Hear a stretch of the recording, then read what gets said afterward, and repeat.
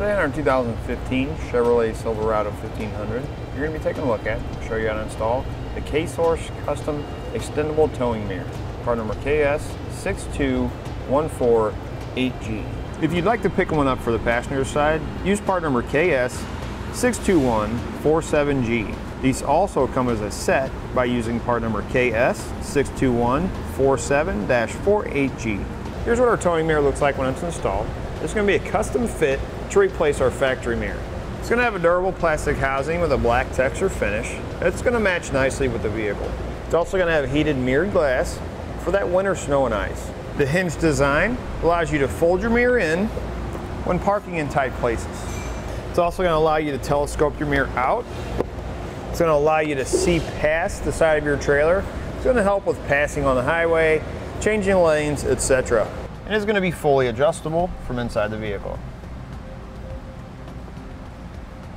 Our lower mirror is going to be our spotter mirror. This is going to help reduce our blind spots. And it's going to be manually adjustable to help maximize our line of sight.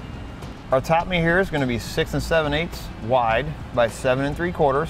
Our lower mirror from top to bottom is going to be 3 and a quarter. From side to side, it's going to be 6 and 7 eighths. Now that we've gone over some of the features of this mirror, let me show you just how easy it is to get on. First thing we need to do is remove our factory mirror. In order to do that, we're going to have to loosen up our door panel. One thing we're not going to have to do is we're not going to have to take the door panel all the way off. We're going to have two bolts on the bottom we're going to need to remove. We're going to use a 932nd socket to remove those. Next what we're going to do is you're going to start right here on the side and we're going to pull out. We're going to work our way around we're gonna have a fastener right here. Take a trim panel tool, flathead screwdriver, get it in there. I'm gonna pop that off. We're just gonna take this panel, we're gonna pop it off like this. And it's on a seam here, so what we're gonna do is we're gonna kind of pull back this way. Let us lift out like that.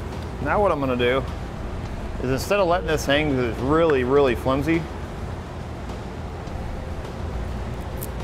take a piece of tape, just kind of take the weight off of itself. This wire that runs from the back of our mirror, you can see it's got some fasteners on it and they're pushed in, it runs right down to the plug. We need to remove those. What we need to do is our plug and go ahead and pop that off.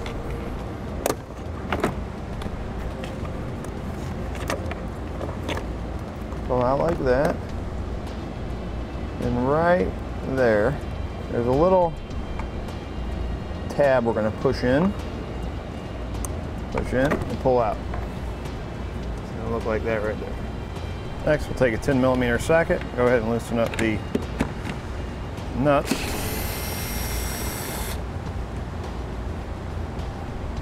We're going to come to our outside here. Just pop that out and pull the whole cable and everything out. Now on our factory mirror, we only have three mounting locations. On our new one here, we have a fourth one, so we're gonna have to drill a hole. For our instructions, we're gonna need to drill this out to a 3 8 But we're gonna start with a pilot hole first. Once you've got your pilot hole drill, we're gonna finish it out with the 3 8 bit. Now I'm going to use a little bit of clear coat. You can use any color you have, uh, some spray enamel to cover up that bare metal. It'll help prevent any uh, rust or corrosion later on. You're not going to see any of it because all this covers it anyway. Next we're going to have some little rubber tabs. We need a, or little rubber covers. Go ahead and pull those off. We're going to start from the outside here. We're going to feed our wire through a large hole.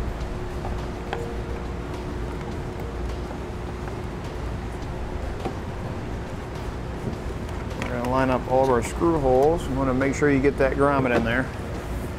Just like that. Now your kit's going to come with four nuts, except the nuts are smaller than those holes. So I recommend using your factory ones that you took off. And then for the fourth one, we're gonna use one of the new nuts that come in the kit, and then we're just gonna put a washer on the back of it. And we'll go ahead and reinstall our new wire. It's gonna come with new fasteners, pushpin fasteners here.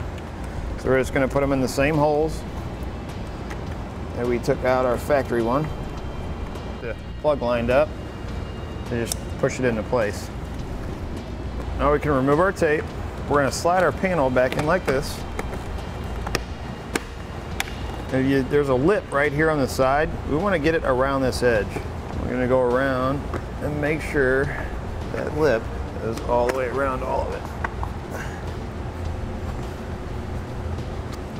Then you just wanna make sure you push that fastener back in, and then we can start putting our door panel back. We're just gonna go around the edge, and you're just gonna make sure it's all popped into place. Once that's done, you can replace your two screws at the bottom.